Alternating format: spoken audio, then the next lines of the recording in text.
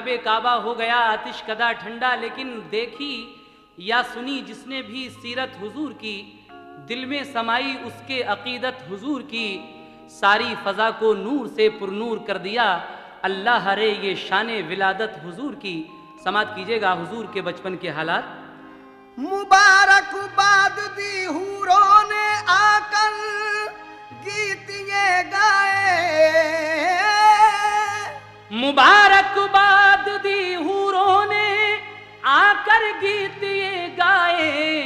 जनाबे आमुना के घर नबी तशरीफ़ ले आए। जनाबे आमुना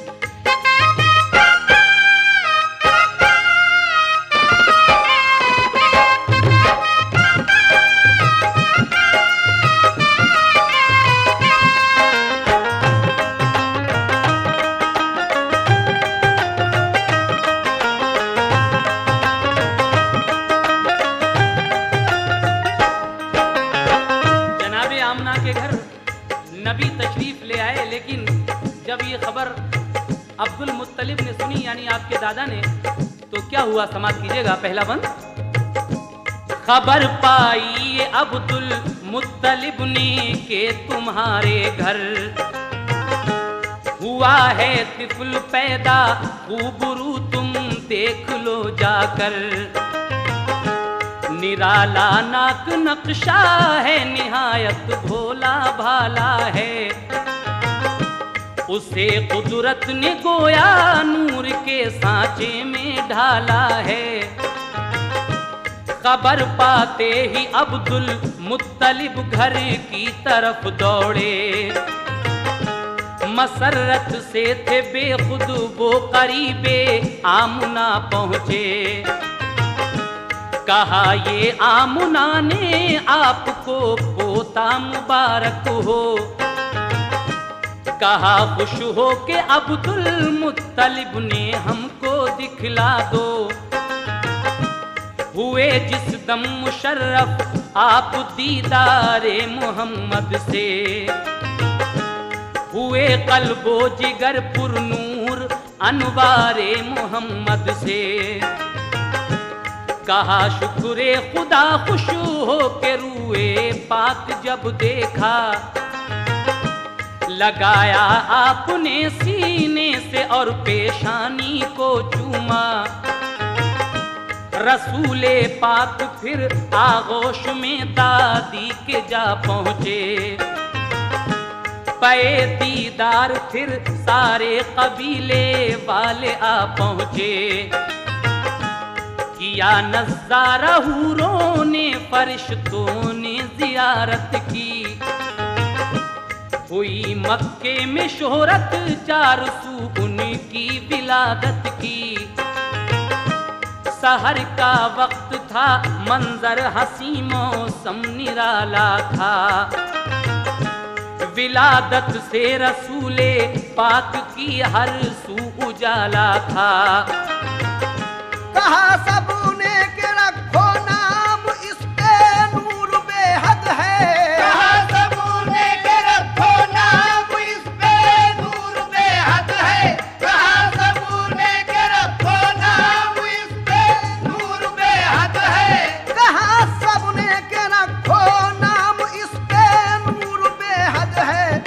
अब्दुल मुत्तलिब बोले के नाम इसका मोहम्मद है। तो अब्दुल मुत्तलिब बोले के नाम इसका मोहम्मद है।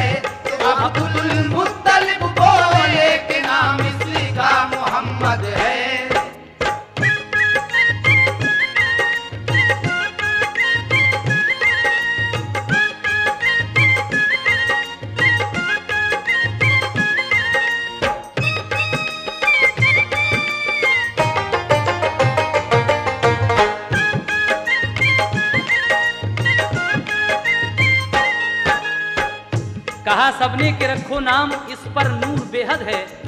तो अब्दुल मुत्तलिब बोले कि नाम इसका मोहम्मद है। इस तरीके से हमारे हुजूर का नाम आपके दादा ने मोहम्मद रखा। लेकिन उसके बाद क्या हुआ समाज फरमाए? जो घर में आ गई तशरीफ़ सरकार दो आलम की। घटाएँ हट गईं सब घर से अब्दुल्लाह के गम की।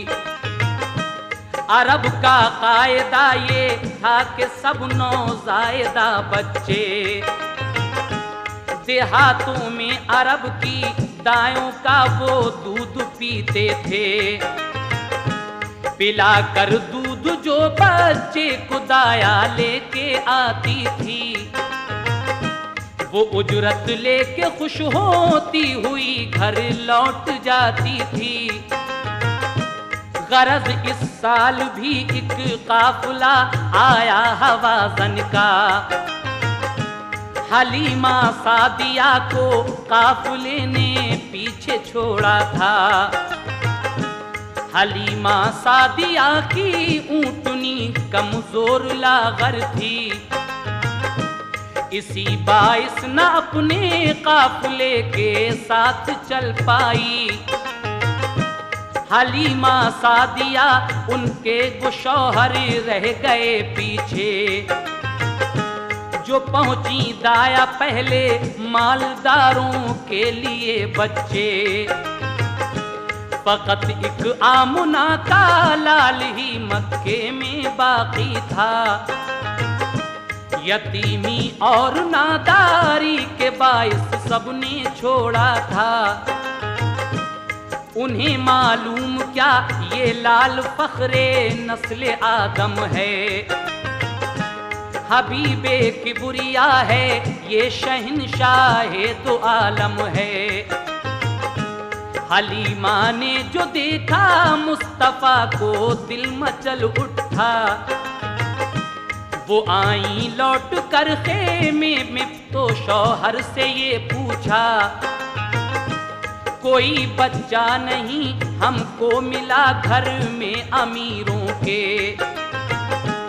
जो पहले आ गई, वो औरतें ले आई सब बच्चे।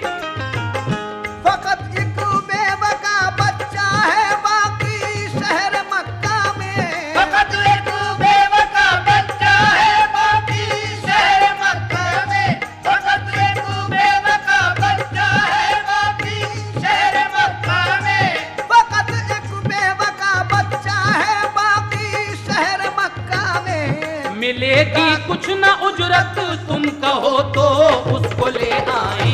मिलेगी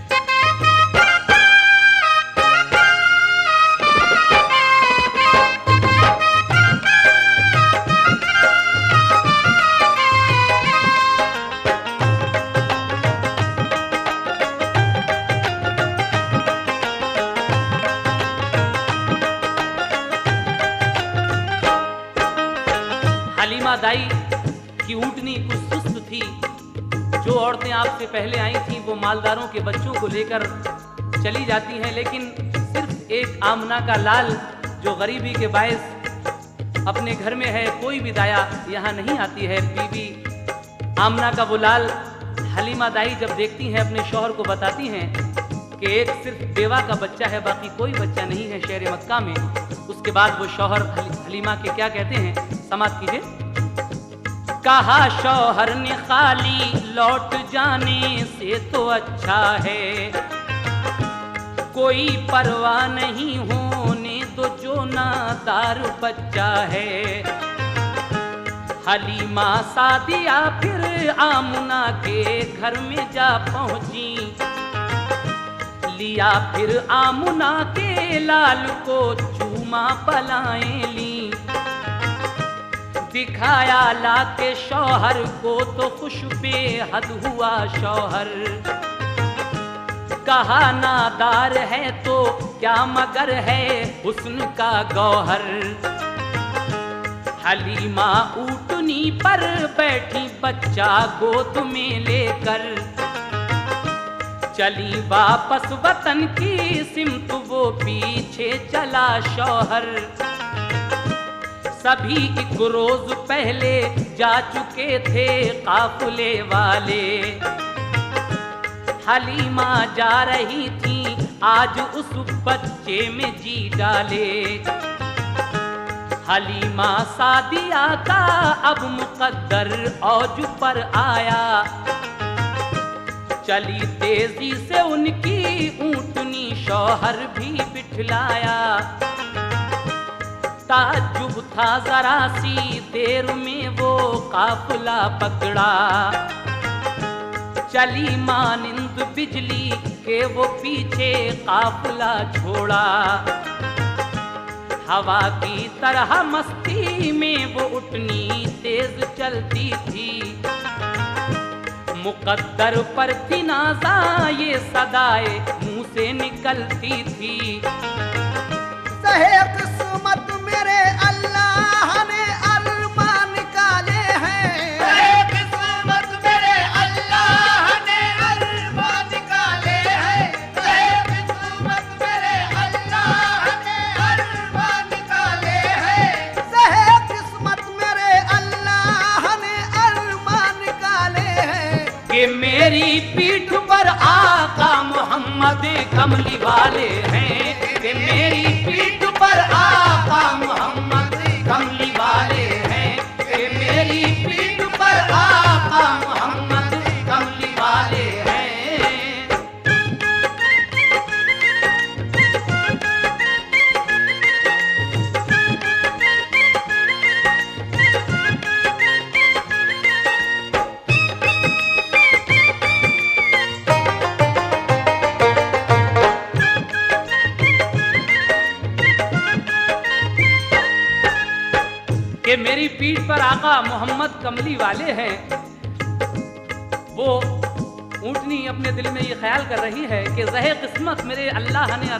अरमा हैं। उसके बाद वो ऊँटनी इतराती हुई किस तरह चलती है, समाप्त कीजिएगा। वो इतराती चली और मंजिले मकसूद पर पहुँची। ताजुब काफले को था हलीमा को भी हैरत थी। हलीमा आमुना के लाल को जब घर में ले आई। घटाएँ रहमतों की झूम कर तब बरकतें लाई। जो थी कमज़ोर उनकी बकरियाँ फरबा हुई सारी। दिया दूध इतना के जाती रही सब घर की नादारी। नबी पाक के जलवों से घर था नूर का आलम। शबे जुल्मत का दिल पर अब हलीमा के नहीं था गम।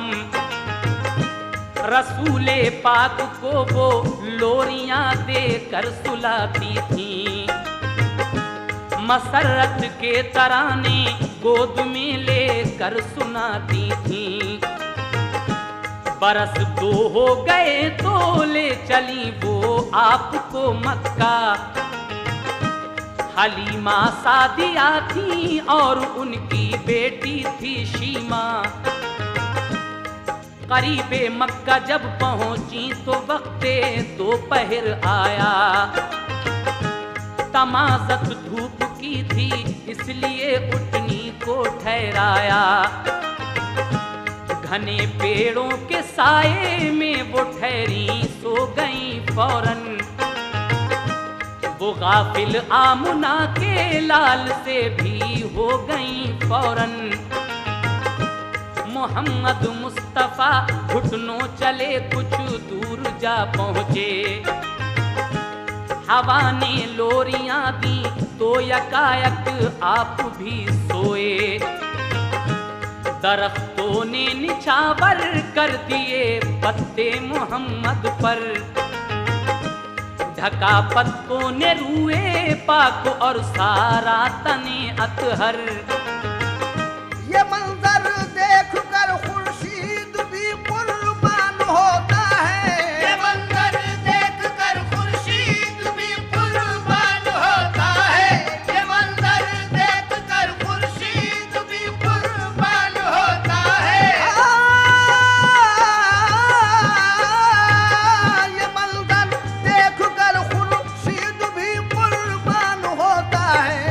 पत्तों में अकेला आमना का लाल सोता है।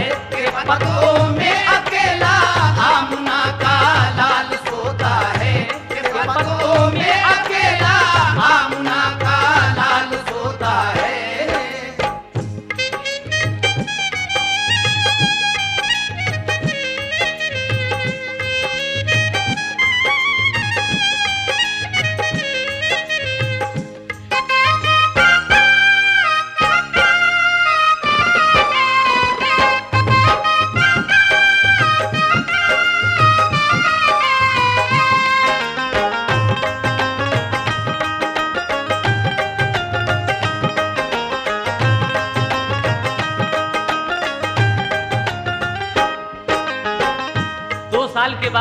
बाद हलीमा हमारे आका को लेकर वापस जब मक्का को चलती हैं, रास्ते में दोपहर हो गया आपकी ऊँटनी। एक दरख्त के नीचे बैठी हलीमा दाई सो गई। हुजूर घुटनों के बल चलते चलते कुछ दूर चले गए और जब सर्द हवा लगी तो आप भी सो गए। पत्ते जो थे पेड़ों के, उन्होंने आपको ढक लिया। लेकिन जब हलीमा की आँख खुली तो क्या हुआ, समाप्त कीजिएगा। हवा के एक झोंके ने जगाया जब हलीमा को। न पाया मुस्तफ़ा को, गम हुआ है तब हलीमा को। उन्हें बेताब होकर हर तरफ़ से रे शजर ढूंढा। परेशान हो गई रो कर इधर ढूंढा, उधर ढूंढा। धड़कता था कलेजा, चीखती थी दोनों माँ बेटी। दरख्तों से लिपट कर पूछती थी दोनों माँ बेटी।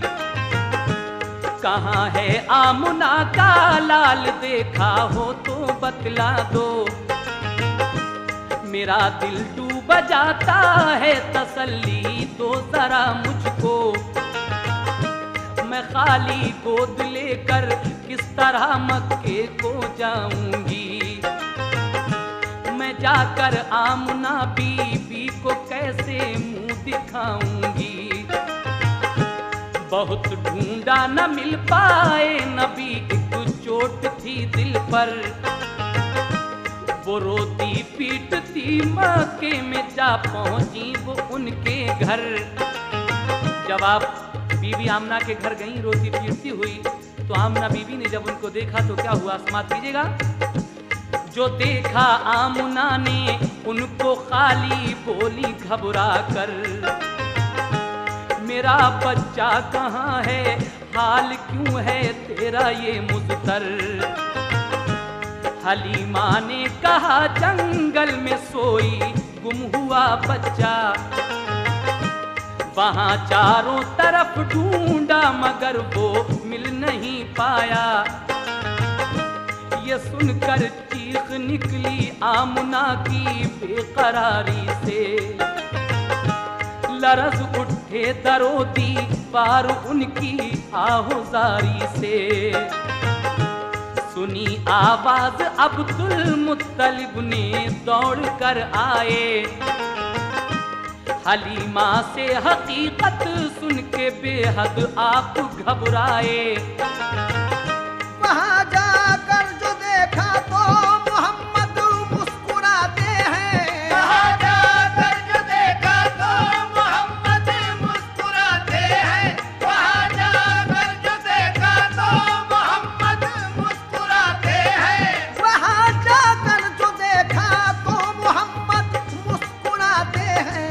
नजारे उन पे नखलिस्तान के कुर्बान जाते हैं। नजारे उन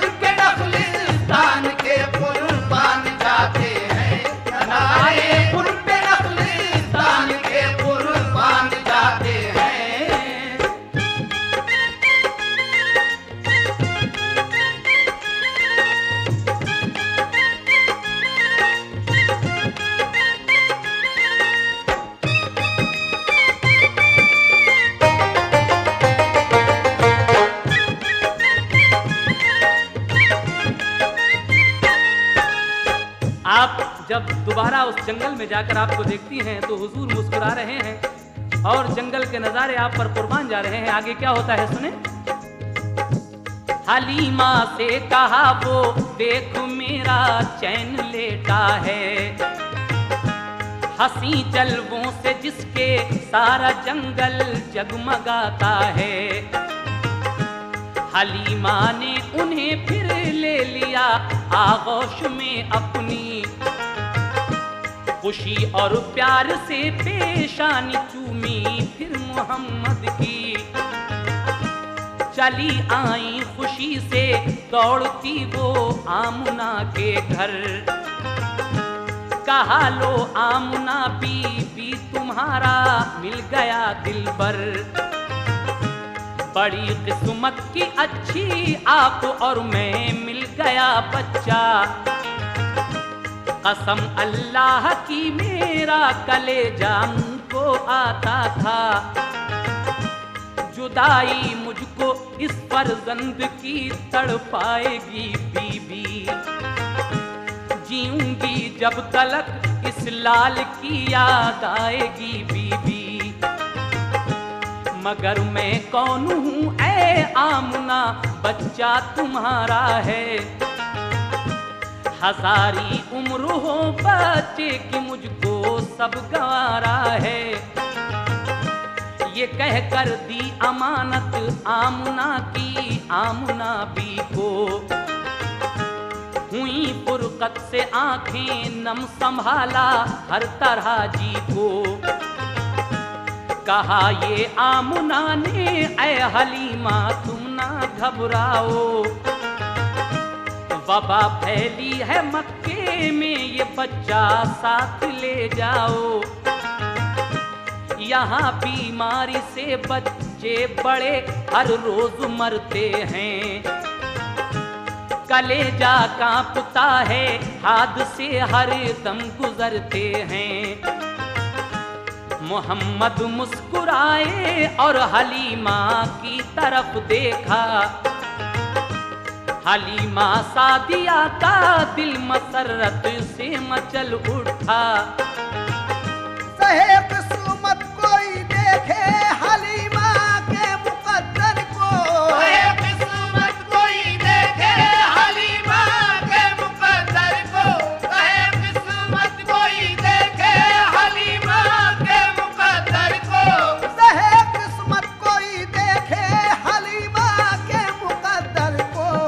वापस ले चली फिर अपने घर में है बेदावर को। के वापस ले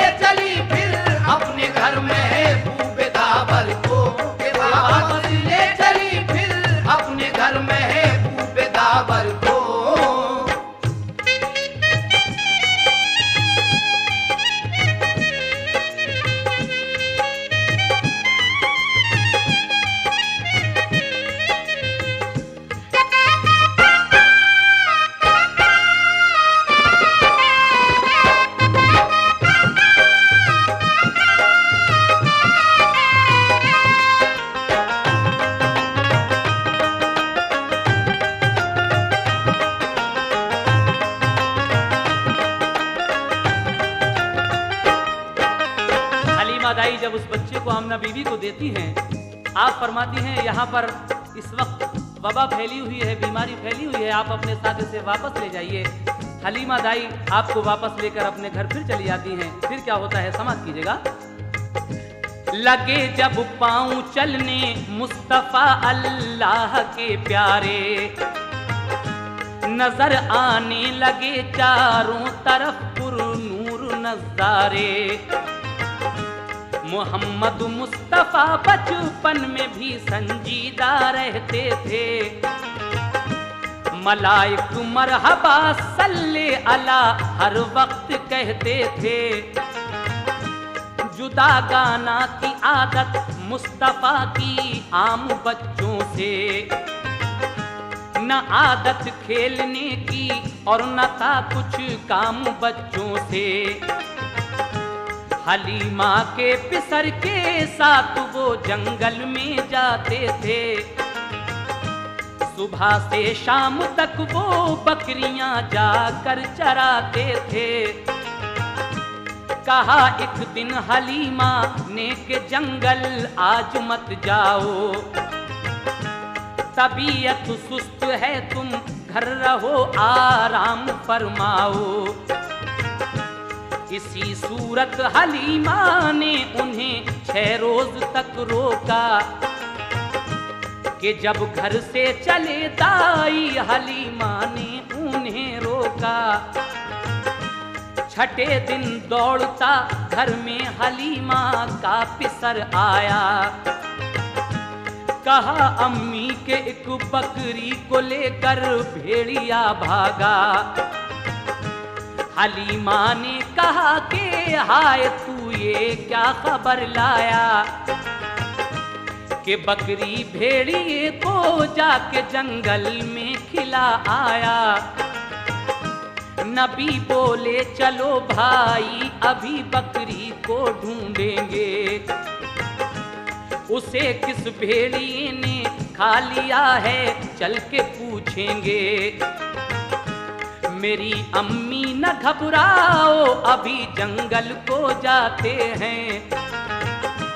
छुड़ा कर भेड़िए से आपकी बकरी को लाते हैं। नबी की माँ की बकरी कोई भी हरे गिज न खाएगा। पकड़ ली है किसी ने तो मेरा अल्लाह छुड़ाएगा। बेहमदिल्लाह बचपन में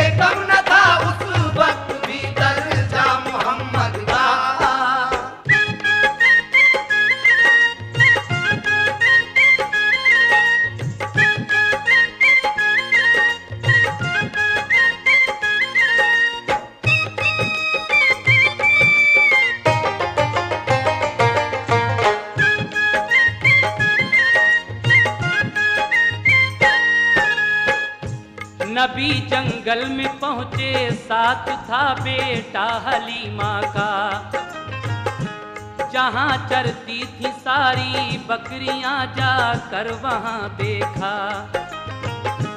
कहीं बकरी न पाई तो चढ़े ऊँचे से टीले पर। लगे चारों तरफ़ फिर देखने नन्हे से पैगंबर।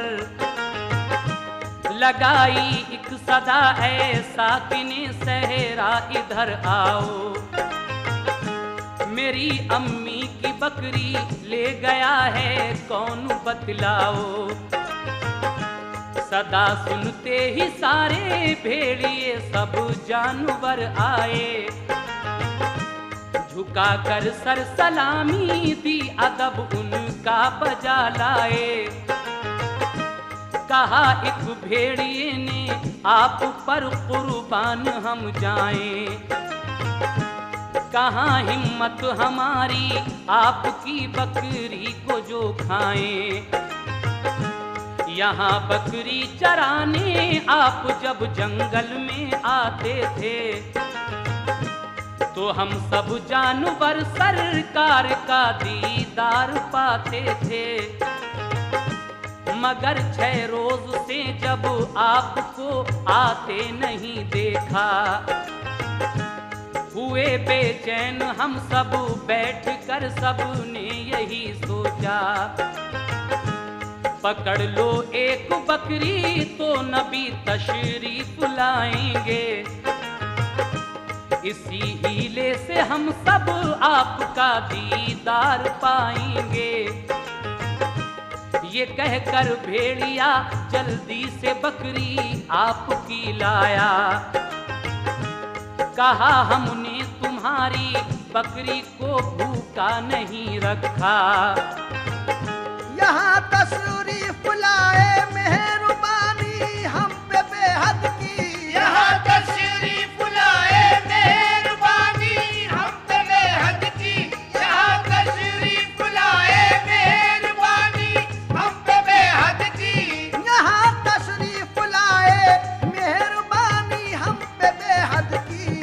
आँखें थी बहुत ही मुंतजर, दीदार अहमद की। आँखें थी बहुत ही मुंतजर, दीदार अहमद के। आँखें थी बहुत ही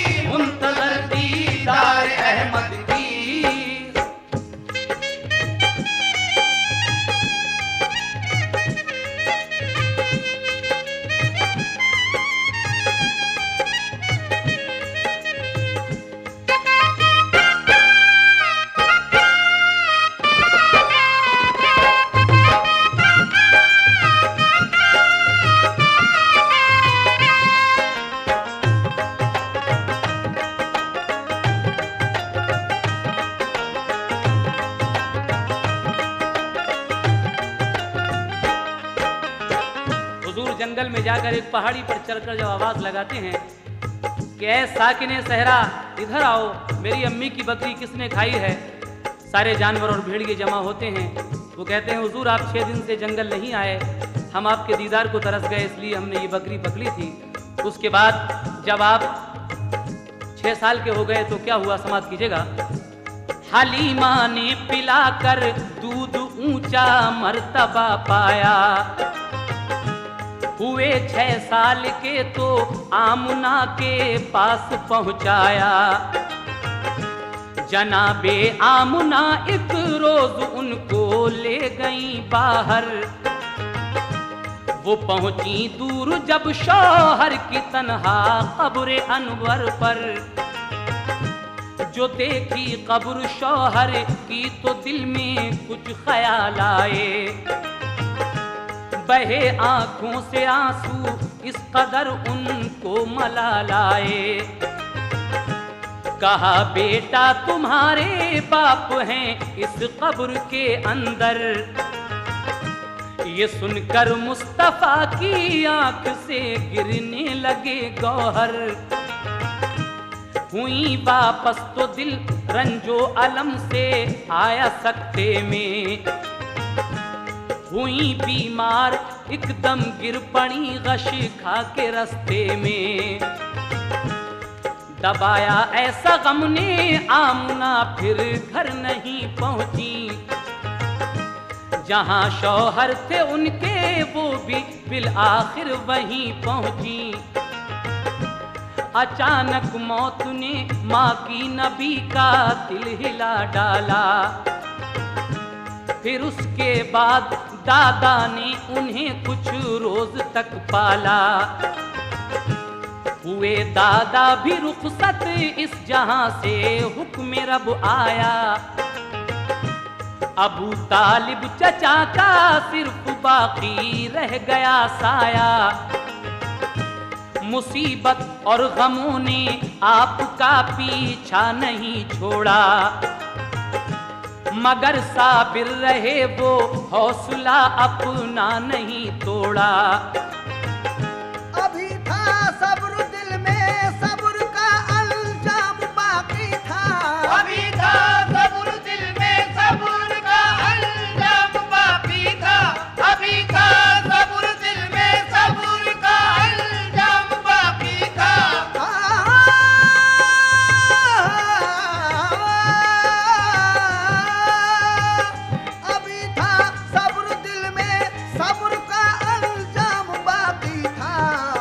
अभी मिन जानबे, अल्लाह बहुत इनाम बाकी था।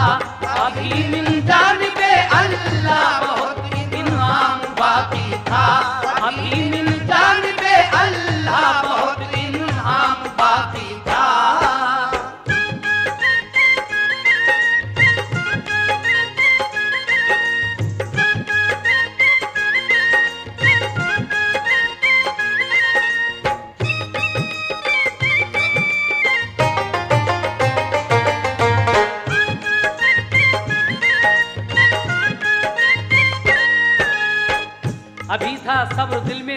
अंजाम बाकी था। अभी मिन जानिबे अल्लाह बहुत इनाम बाकी था। लेकिन न वो हम उम्र बच्चों में कभी भी खेला करते थे। अलहदा बैठकर तन्हाई में कुछ सोचा करते थे। सदाकत के अलंबरदार थे, सच बोला करते थे। गुले रहमत बरसते थे, जुबा जब खोला करते थे। हुई जब उम्र ग्यारह की तो बाहर आते जाते थे। तिजारत में चचा का हाथ वो अक्सर बटाते थे। गए एक बार मुल्क शाम की जानिब तिजारत को तो एक राहिब ने देखा आपकी पाकीजा आदत को। बहुत इज़्ज़त की उसने, फिर अबू तालिब से ये पूछा, जो था इंजील में तहरीर उसने राज ये खोला। कहा, इस लड़के को हर दम हिफाजत में रखा कीजिए। नबी हो सकता है इस राज को दिल में छुपा लीजिए। चचा के जेर साया जब कदम रखा जवानी में। हुई तासीर पैदा, खास उनकी खुश बयानी में। मोहब्बत सबको थी दिल से, सभी कुर्बान जाते थे। कि मक्के वाले सादिक और अमीन अपना बताते थे। तिजारत में बहुत शोरत थी एक बीबी खदीजा की। वो एक खातून दौलतमंद थी पाकीज़ा आदत थी। खुलूस अखलाक का शोहरा था और ईमानदारी का। वो बेवा हो चुकी थी, दो दफ़ा थी हुस्न में यकता। खदीजा ताहिरा ने जब सुनी शोहरत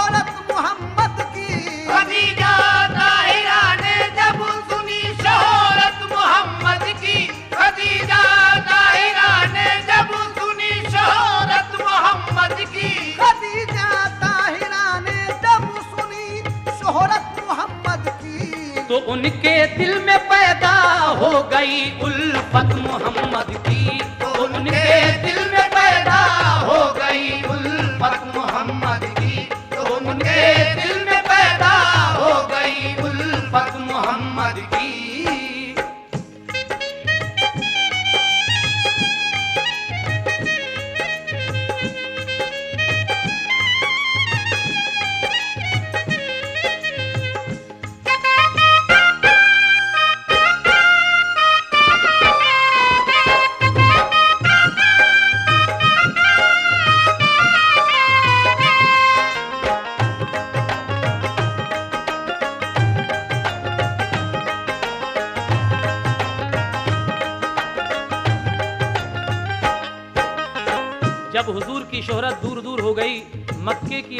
जो दो बार बेवा हो चुकी थी, जिनका नाम खदीजा ताहिरा है, उनके दिल में हुजूर की थोड़ी मोहब्बत पैदा होती है और क्या होता है समाप्त कीजिए।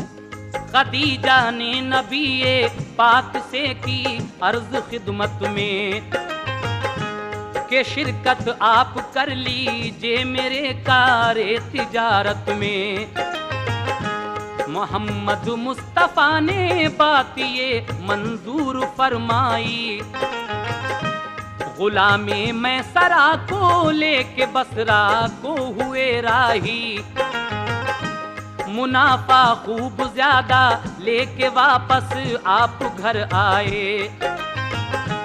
बताए मैं सराने आके घर और साफ़ जो पाए। कि मैंने मुस्तफ़ा का आँख से साया नहीं देखा। वो जलती धूप में चलते तो बादल साया करता था। गए सूखे शजर के नीचे तो सर सब्ज वो देखा। तने अतहर कुदरती तौर पर हर दम महकता था। कभी आँखों में उनकी नींद का गलबा नहीं पाया। न बैठी तन पे मक्खी, हर घड़ी चेहरा दमकता था। खदीजा ने गुलाम अपना इसी मकसद से भेजा था। लगेगा आपकी कुछ खूबियों का हमको अंदाज़ा। खदीजा ने ये सोचा, काश उनका साथ हो जाए। मेरे सर पर मोहम्मद मुस्तफ़ा का हाथ हो जाए। सुनी और आँख से देखी जो उनकी खूबियाँ आला। मोहब्बत ने मोहम्मद की उन्हें बेचैन कर डाला। खदीजा ने इरादा कर लिया फिर अक्द करने का। पयाम अपना खदीजा ने अबू तालिब को भिजवाया। खदीजा का मुकद्दर फजल रब से औज पर आया। अबू तालिब ने पूछा अक्द को मंजूर फरमाया।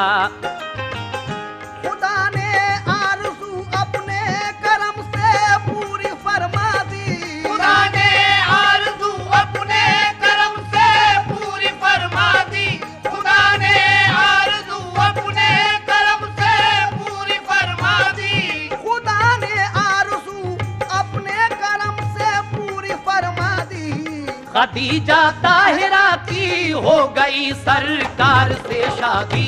खदीजा ताहिरा की हो गई सरकार से शादी। खदीजा ताहिरा की हो गई सरकार से शादी।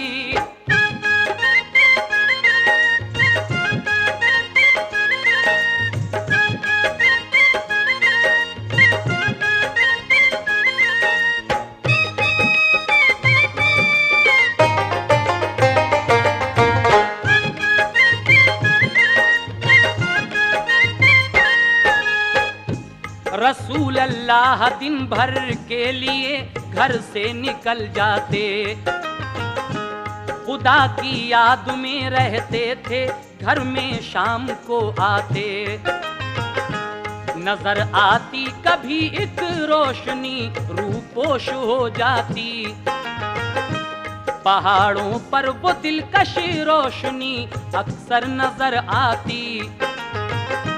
अचानक बर्क सी कुछ दूर पर मालूम होती थी। मोहम्मद मुस्तफ़ा को वो भली मालूम होती थी। अजब हालत थी उठते बैठते, इल्हाम आते थे। फरिश्ते गायबाना रोज सुबह शाम आते थे। पहाड़ों पर थी गारे हिरा कुछ दूर मक्के से। भयानक थी जगह वो, उस तरफ़ इंसान जाते थे। परिंदा तक कभी उस सिमत को उड़कर ना जाता था। कलेजा था ये किसका पास से उसके गुजर पाता। जगह सुनसान थी, ऐसी के डर मालूम होता था। नज़ारा उसका है बदनाक था औसान खोता था। मगर सरकार अक्सर रात को उसमें ठहर जाते। वहीं उस गार के अंदर खुदा को याद फरमाते। अचानक एक दिन उनको अजब सूरत नज़र आई कि इससे पहले ऐसी शक्ल हज़रत ने न देखी थी। फरिश्ता था वो ऐसा देख कर दिल उनका घबराया। वो रफ्ता रफ्ता बढ़ के मुस्तफ़ा के पास तक आया।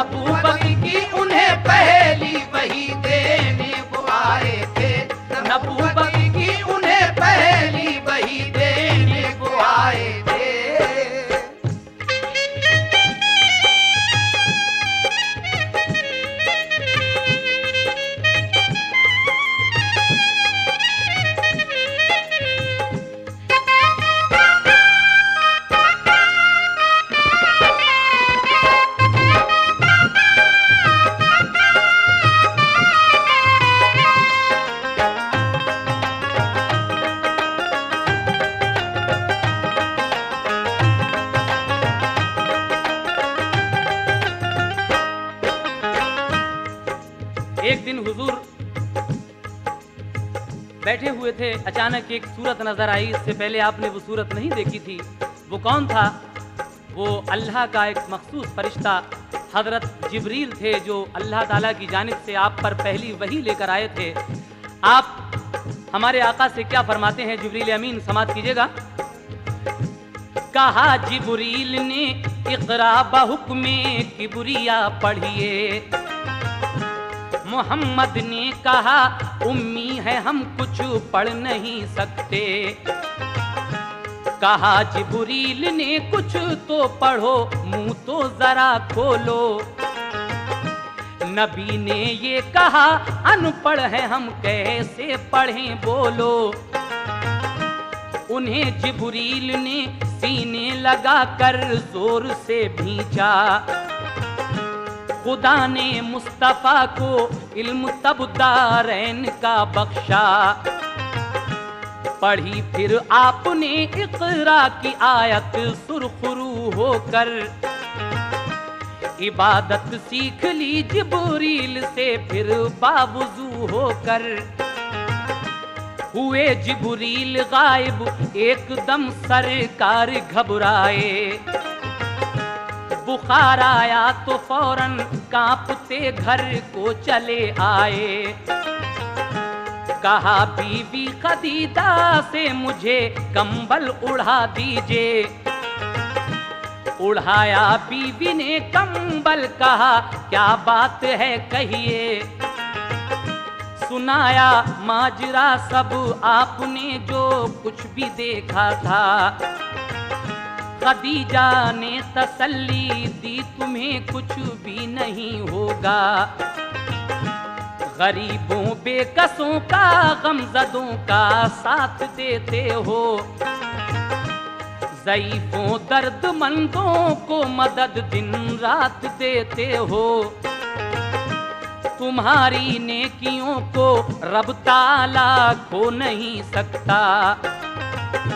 यकीन जानो मेरे शौहर तुम्हें कुछ हो नहीं सकता।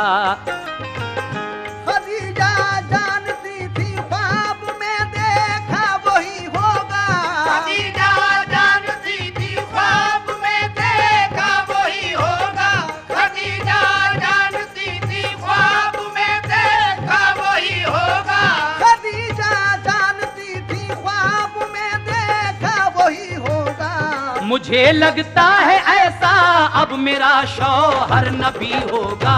मुझे लगता है ऐसा अब मेरा शौहर नबी होगा। मुझे लगता है ऐसा अब मेरा शौहर नबी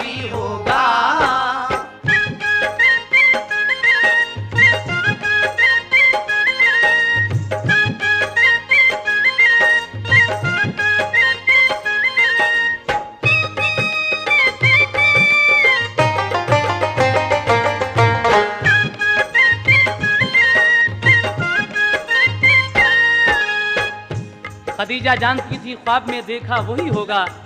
मुझे लगता है अब शौहर मेरा नबी होगा, लेकिन किसी तस्दीक से करना था बस पुख्ता यकीन उनको।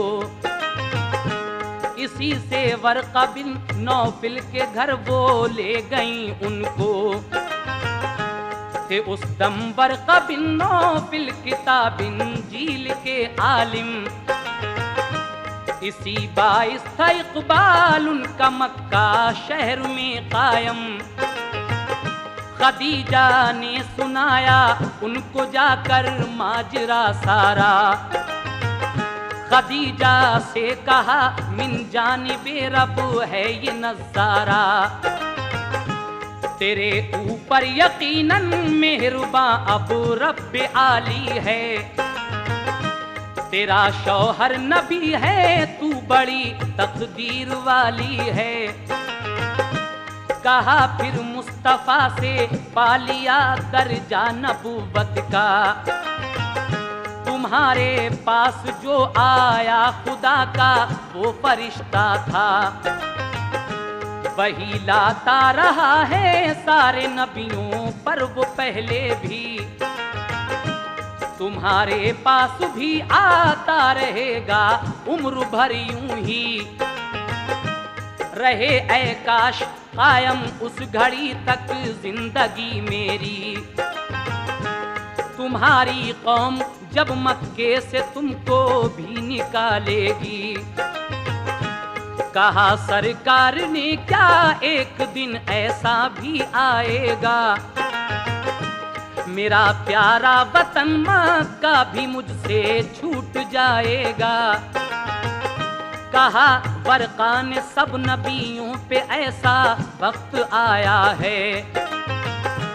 वतन से निकले हैं जब कौम ने उनको सताया है। सुनो ये बात बेहतर है, अभी खामोश ही रहना।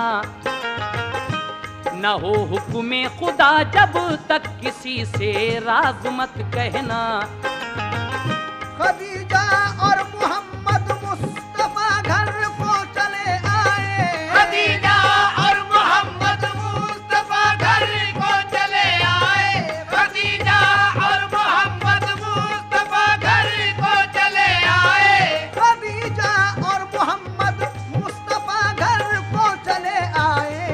तसल्ली हो गई। शुक्र खुदा दोनों बजा लाए। तसल्ली हो गई। शुक्र खुदा दोनों बजा लाए। तसल्ली हो गई। शुक्र खुदा दोनों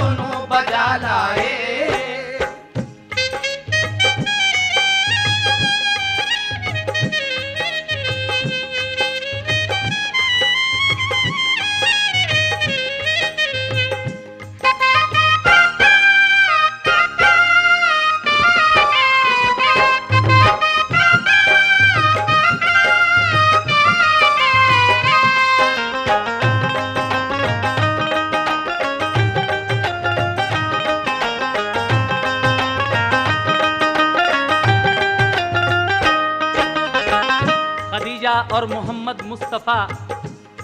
घर को चले आए, तसल्ली हो गई, शुक्र खुदा दोनों बजा लाए। एक रोज जिब्रील अमीन फिर वही लाते हैं और उस वही में अल्लाह तबारक व ताला फरमा रहा है कि, ए मेरे महबूब, अब आप अपनी नबूवत का ऐलान कर दीजिए। आप उस वही को सुनते ही अपनी नबूवत का ऐलान करते हैं। सामीन ये वाक़या जो इस कैसेट में पूरा नहीं हो सकता है इन ताला हम इसके आगे एक कैसेट और सीरत रसूल के नाम से आपको सुनाएँगे। उसमें फिर रसूल पाक ने अपने कबीले वालों की, सबकी दावत की थी और उनके सामने ये बात रखी थी कि अगर मैं कहूँ कि उस पहाड़ी के पीछे एक लश्कर है और वो हमला करना चाहता है, क्या तुम मेरी बात ये सच मानोगे? तो आपकी इस बात पर कौन कौन सदकता या रसूल अल्लाह कहता है?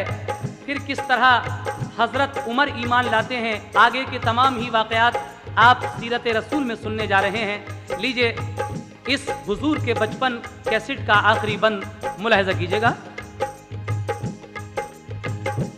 वही एक रोज फिर लाया फरिश्ता रब इज़्ज़त का।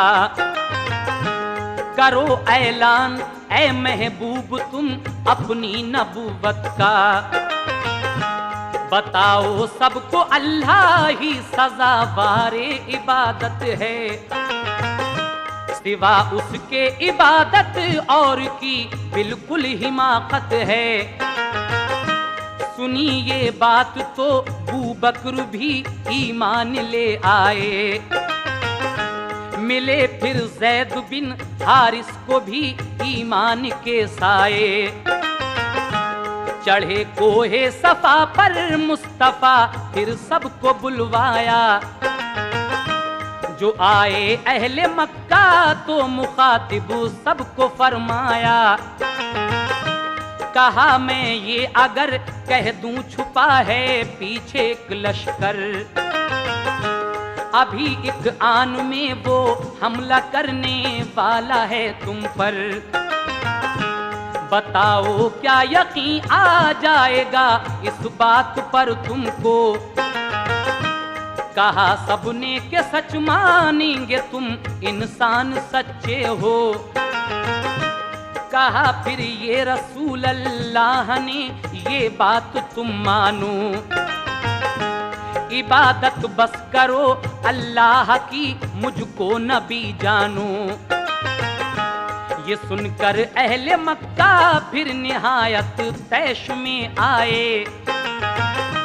कहा, ये बात हरगिज हम गवारा कर नहीं सकते। उन्हें कड़वी लगी ये बात, वो ईमान नहीं लाए। गए सब अपने अपने घर मोहम्मद भी चले आए। वही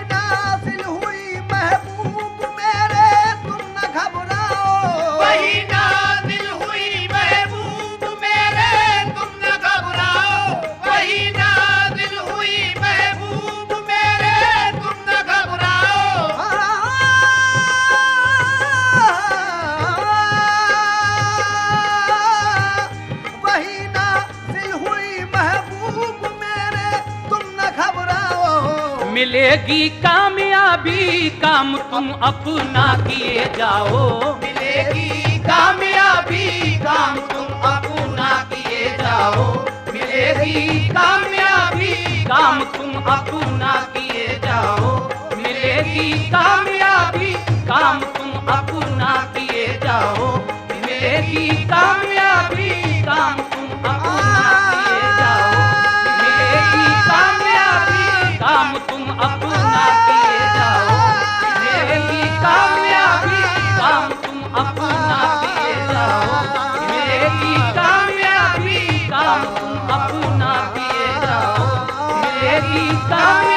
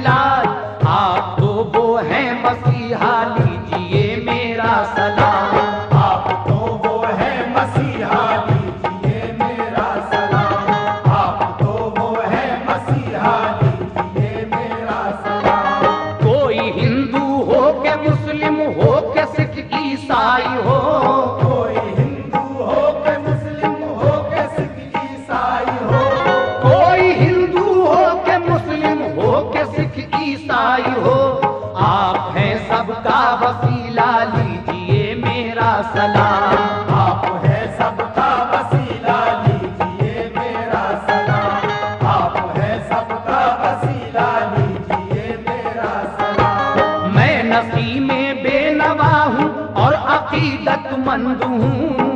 नसी में और मैं नसी में बेनवा हूँ और अकीदत मंद हूँ। लीजिए आका खुदारा लीजिए मेरा सलाम।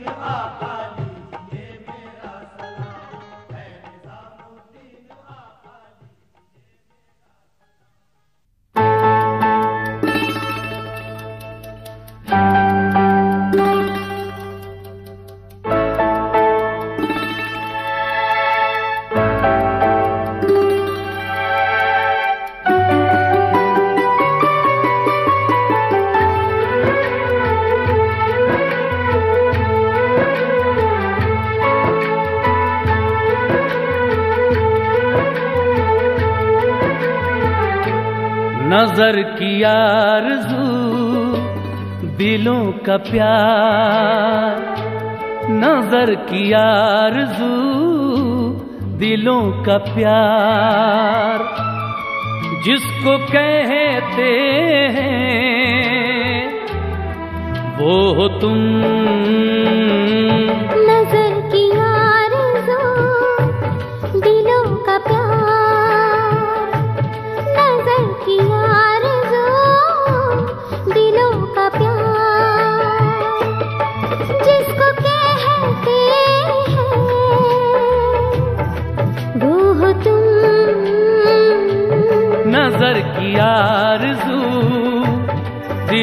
का प्यार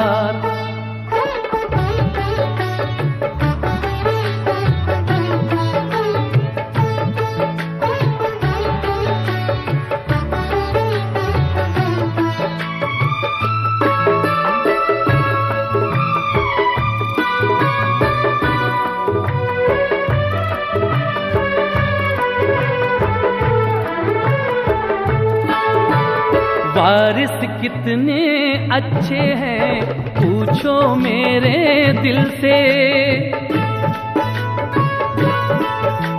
वारिस कितने अच्छे हैं, पूछो मेरे दिल से। इनसे राहत पाती है, दुनिया हर मुश्किल से। दर पे खैर, रात का दर पे खैरात का जारी है सिलसिला। नज़र की आरज़ू, दिलों का प्यार। नज़र की आरज़ू, दिलों का प्यार। जिसको कहते हैं, वो हो तुम। नज़र की आरज़ू दिलों का प्यार।